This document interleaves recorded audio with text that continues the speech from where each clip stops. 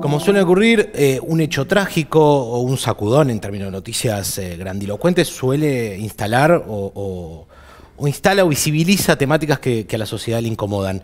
Eh, el problema es que en muchos casos no se va a fondo, el debate no sigue, se olvida, queda en el olvido. Bueno, algo de eso sucedió en febrero de, de 2022 Em, con la temática drogas, ¿sí? Con, la muerte de 24 personas en aquel momento por el consumo de cocaína adulterada. Bueno, para abordar la temática y encontrar algunas respuestas, quizá también muchas más preguntas, nos acompaña eh, Florencia Corbel, ella es antropóloga, investigadora sobre el tema. Gracias por acompañarnos, Florencia. Bueno, muchas gracias por la invitación, es un gusto estar acá. Bien, gracias. A ver, investigadora sobre el tema, contarnos un poco cuál es tu materia de estudio, probablemente lo vas a poder explicar mejor.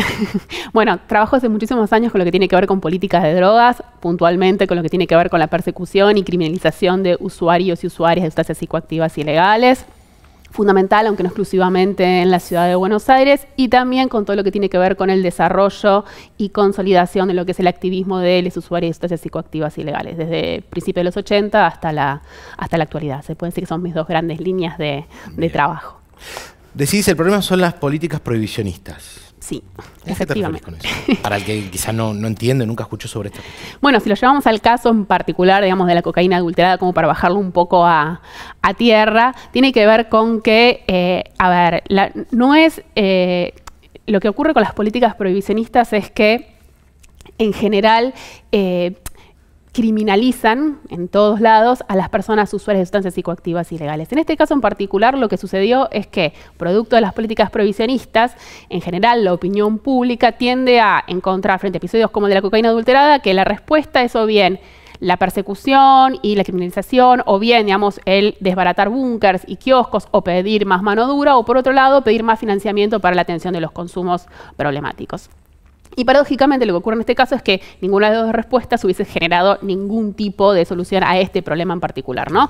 Porque, digamos, eh, desbaratar un búnker no implica que no haya otro al lado, ¿no? que continúe vendiendo sustancias adulteradas. Y por otra parte, que por más que se financien ¿no? lugares de detención de los consumos problemáticos, lo cual sin duda hay que hacer, no implica que todas las personas dejen de consumir sustancias psicoactivas ilegales porque eh, tengan acceso a un centro de tratamiento de atención de los consumos problemáticos, porque tengan acceso a actividades culturales y deportivas, lo cual no implica que no tengan que tener, ¿no? Son dos cosas diferentes. Entonces, en este caso nos encontramos que producto de políticas provisionistas, se criminaliza a las personas usuarias, lo que en el caso particular de la cocaína adulterada evitó que personas se acercaran al sistema de salud, ¿no? Porque tenían miedo a ser criminalizadas, terminar con una causa abierta en el sistema judicial, y por otra parte evita políticas de reducción de riesgos y daños, como por ejemplo el testeo de sustancias, que hubiese evitado ¿no? que la gente consumiera una droga, una sustancia adulterada. A ver, el marco jurídico, danos un, un pantallazo de cuál es el marco jurídico y también de su historia, ¿no? Porque digo, por ahí los que leímos algo, o incluso pudimos ver algún documental, alguna cosa, un acercamiento es, tiene que ver con una guerra contra las drogas, ¿no? Que nace en los años 60. Traenos un poco cómo llegamos hasta acá. Bueno, es larguísimo, es bastante complejo. Por ahí eh, se puede empezar con el marco jurídico actual, que es bastante, de hecho, contradictorio en sí mismo. Tenemos por un lado una ley de drogas, que es la ley 23737, que data de 1989, que persigue y criminaliza a las personas que tienen drogas aun cuando es para consumo personal y que habilita a los jueces a, digamos, ordenar la internación compulsiva de personas, ¿no? Que eh, tienen supuestamente un problema de adicción o atención de los consumos problemáticos. Esa ley en particular entra en franca contradicción con lo que es la ley de salud mental, que dice que las personas pueden acceder a un tratamiento o, deben, digamos, deben permanecer en un tratamiento de manera voluntaria, que pueden elegir ¿no? el curso de su tratamiento y que debe haber un consentimiento informado. Y que además, por otra parte, dice que, bueno, la internación es el último recurso, que debe ser, digamos, eh, planteada por un equipo interdisciplinario y que además obviamente tiene que solamente ordenarse cuando la persona supone un riesgo inminente para sí y para terceros, o sea, completamente contradictorio con la ley de drogas.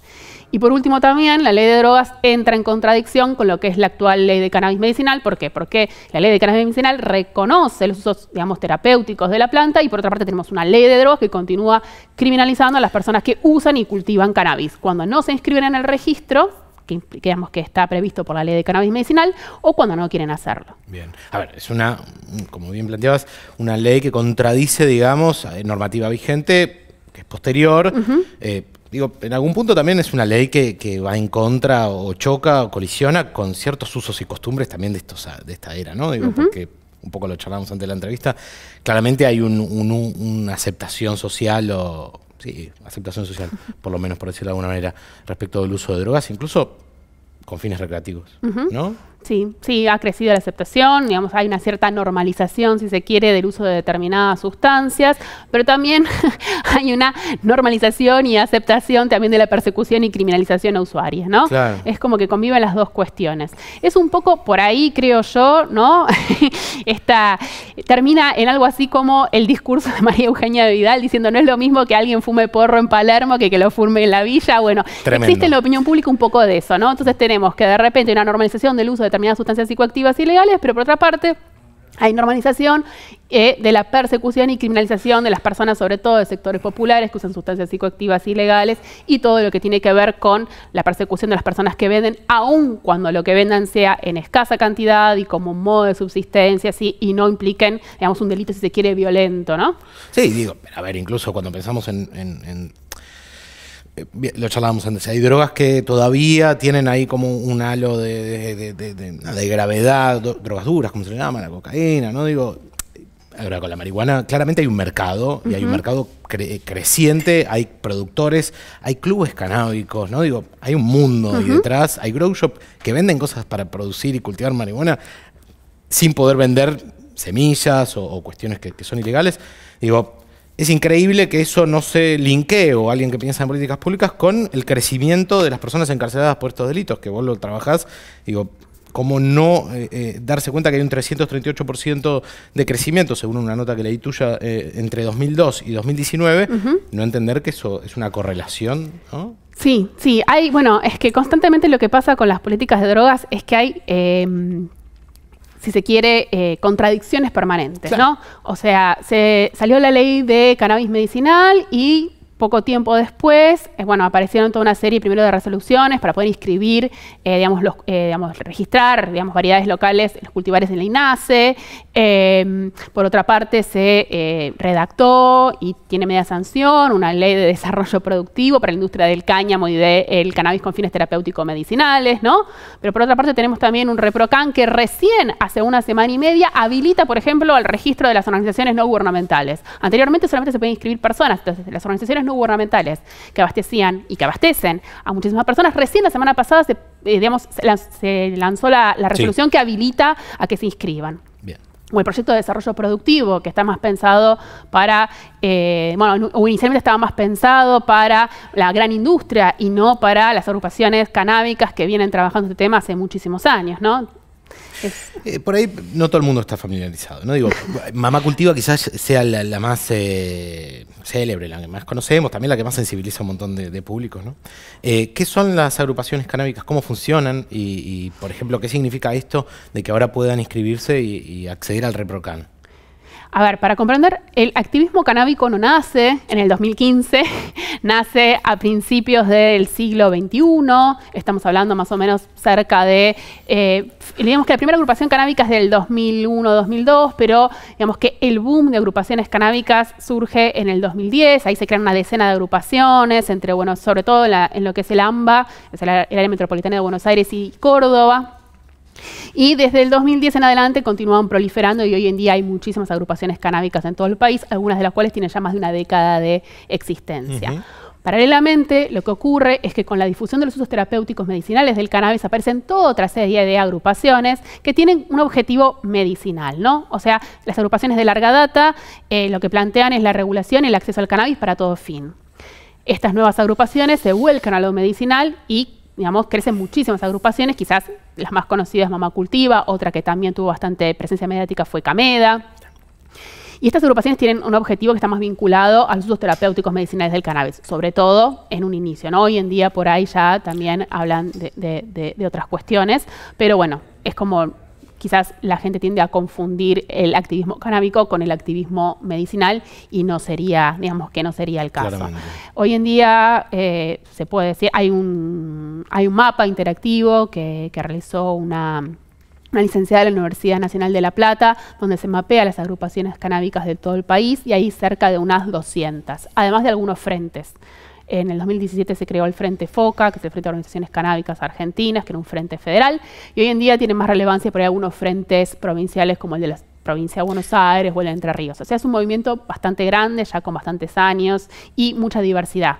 Como decías, clubes de cultivo, eh, agrupaciones más vinculadas a hacer incidencia política, otras más volcadas hacia lo medicinal. Que en definitiva están de alguna manera u otra ocupando un lugar que es el que se le reclama que ocupe el Estado, no es que eh, va en contra de eso, ¿no? Digo, porque lo que se le pide al Estado es que regule, que participe de instancias como puede ser la producción, la comercialización, como sucede en otros países, ¿no? Claro, o sea, básicamente lo que ocurrió con el activismo canábico es que lo que primero pidió el histórico era la modificación de la ley de drogas, ¿no? Y lo que ocurre es que con la difusión de los usos terapéuticos medicinales del cannabis, lo que adquirió preeminencia fue lo medicinal, pero quienes también estuvieron atrás de ese desarrollo de lo medicinal eran los productores. ¿Quiénes son los productores? Y bueno, los que eran también los integrantes y las integrantes de estas organizaciones canábicas, no todos, pero la mayor parte que obviamente producto de esta demanda creciente de acceso al cannabis y sus derivados, volcaron parte importante de su tiempo a dar cursos de cultivo, de producción de derivados y destinaron también parte importante de sus cultivos a, digamos, eh, hacer frente a esta, oferta. Pero digamos que el objetivo final del activismo canábico de larga data es una regulación del cannabis para uso adulto o también que se conoce como recreativo, si se quiere. Claro. Digo, porque en definitiva cuando, cuando se piensa en estos mercados, es un mercado, ¿no? O un potencial mercado, eh, se pone como ejemplo el provisionismo del alcohol en Estados Unidos allá por los Hace muchas décadas. Eh, y se plantea justamente el problema que, surgió a partir de eso. Es el Estado lo único que hace es prohibir, se corre, no mira, o mira con una mirada punitivista, que es la que justamente vos investigás y, y cuestionás. Digo, lo que se está pidiendo, ¿no? en definitiva esto, es que el Estado ponga el ojo ahí. ¿Qué otros modelos? ¿Vos laburaste o, trabajaste con otros investigadores de otros países o que trabajan en otros países? ¿Algún modelo que podría ser aplicable a, la Argentina? Eh, yo creo que lo que hay que hacer por ahí es analizar. Que haya funcionado en, un país y no necesariamente en Argentina, pero que haya funcionado. Hay diferentes modelos de regulación del cannabis para uso adulto. Está el uruguayo, está el canadiense, hay otros, bueno, varios estados de los Estados Unidos también tienen sus, sus, propios, sus propios modelos.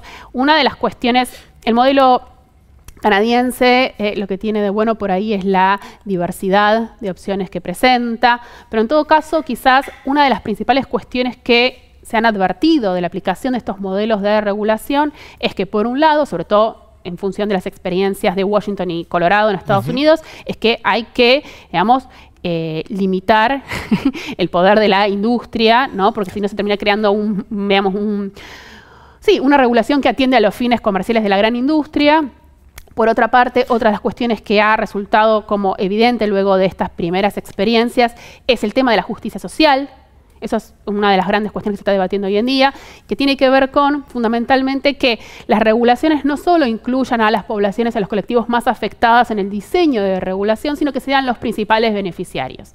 Entonces, algunos estados de los Estados Unidos han, por ejemplo, planteado cuotas de eh, cantidad de, por ejemplo, de dispensarios o etcétera, posibilidades que, que, deben eh, atender o que deben estar al frente de eh, colectivos especialmente afectados, sean comunidades indígenas, sean eh, bueno, depende de cada, de cada, de Sentido social ahí. Exactamente, se llama el principio de justicia, de justicia social, que en este caso, por ejemplo, en el caso nuestro en particular, tendría que ver con que el activismo canábico, ¿no? que es uno de los principales colectivos afectados por las políticas provisionistas, tenga lugar, tenga, obtenga beneficios de esa regulación, que tenga un lugar en esa regulación, ¿no?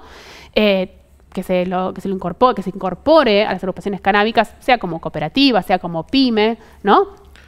Y también, por supuesto, a aquellos colectivos como las mujeres y las personas trans que en los últimos años han sido especialmente perseguidas por las políticas de drogas. Sí, lo veía, ¿no?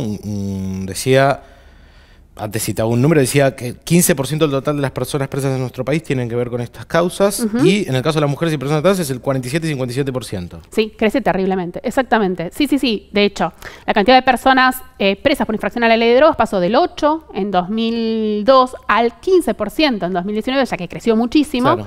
Y después, además, en el caso de las mujeres y las personas trans, eh, suponen porcentajes altísimos. O sea, la mitad de las mujeres están presas por infracción a la ley de drogas y en el caso de las mujeres trans, eh, de personas trans, un poco más. ¿no? Si cruzas eso con nacionalidades, los porcentajes crecen, se van arriba del 70%. Y me imagino que más difícil hacerlo sobre respecto de segmentos sociales, si es que podemos pensarlo como segmentos, o clases sociales, que debe ser ¿no? toda gente pobre.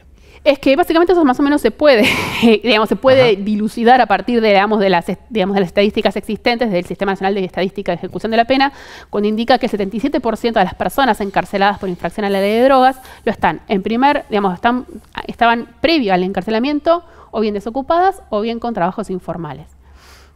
Y por otra parte también nos damos cuenta que son las personas más pobres porque la mayor parte de las personas que están condenadas, el 77%, tienen, digamos, las penas más bajas o sea, menos de seis años, ¿no? Para terminar, digo, camino irremediable eh, desandando este provisionismo, ¿no? Suponiendo que va a darse, uno cree que sí, porque en definitiva se impone. Justamente a esto iba, ¿no? Digo, ¿en qué medida el Estado, o cuán lejos el Estado está yendo de la sociedad eh, respecto de empezar a, desestigmatizar y, armar como un camino un poco más sano para, esta cuestión que tiene que ver con el consumo de drogas, que no es... Eh, no es algo que, se va a promover tampoco porque empiece a, desestigmatizarse, ¿no? Eh, es complicado, yo tengo una, siempre una mirada bastante eh, negativa, o sea, negativa no, más que negativa, eh, no tiendo a ser optimista. Demasiado realista. lo que ocurre creo que es un tema que es bastante espinoso y que siempre se abren como ventanas y después esas ventanas se cierran y creo que esa ventana existió en el 2019 y con la pandemia eh, se terminó cerrando. Eh, ah, creo que había eh, bastante, bastante, sí, sí, sí, había como la idea de que se iba a, crear un intento de regulación o por lo menos descriminalización de las conductas asociadas al consumo luego de la sanción de digamos, de la ley del aborto, la interrupción voluntaria del embarazo, y efectivamente eso no sucedió, y bueno, y ahora hay como algo, por lo menos personalmente creo que está difícil que vuelva a debatirse en estos años porque el año que viene es un año electoral, eh, bueno, y son temas que eh, muchas veces dicen los funcionarios y los políticos son piantavotos, ¿no? Entonces, bueno, es complicado. Pero de todas formas creo que a diferencia de años anteriores, ha habido digamos, diferentes funcionarios de diferentes digamos, oficinas del Estado que plantean la necesidad de modificar la ley de drogas. Cada vez digamos, hay más voces que se plantan en contra del régimen provisionista de control de sustancias psicoactivas y legales, con lo cual en ese sentido sí creo que hay un avance concreto. ¿no? Ahora, de ahí a una ley es otro tema. Me imagino, y esto también te decía que era el último, pero pensaba en esto que me decías, me imagino que debe haber hasta una cuestión, no sé si lo habrás elaborado, pero seguramente eh, lo tendrás en mente, eh, etaria, ¿no? Incluso dentro de los eh, legisladores, ¿no? Respecto de pensar estas cuestiones desde el lugar que se piensan, ¿no? ¿O no? a ver, no sé si es... Funcionarios, legisladores, representantes más jóvenes que pueden llegar a tener una mirada un poco más... Estoy pensando, porque nunca lo pensé de esa forma, ah, pero pensando por ahí en el debate que tuvo lugar en el Congreso de la Nación en 2012, eh, el corte no fue ni por partido político, que uno podría ya pensar, o sea, por bloque, eh, ni tampoco eh, etario, por ahí, por lo que estoy viendo, no había algunos legisladores de edad avanzada que de hecho tenían proyectos de ley. Tampoco por región, o no Tampoco por, región, bueno, por ahí podría llegar a ser, por ahí eso sí un poco más. que estoy tratando de pensar los legisladores de qué, de qué, de qué provincia serán y por ahí sí, sí, por ahí legisladores que vienen de grandes metrópolis donde el tema por ahí es un poco más visible, eh, sí tienen una postura más tomada, Respecto a eso, sí, puede ser. Bueno, Florencia, muchas gracias por acompañarnos. ¿sí? Eh, seguramente volveremos a visitarte porque este tema va a seguir en, en agenda. Gracias. Bueno, muchísimas gracias por la invitación. Un gusto.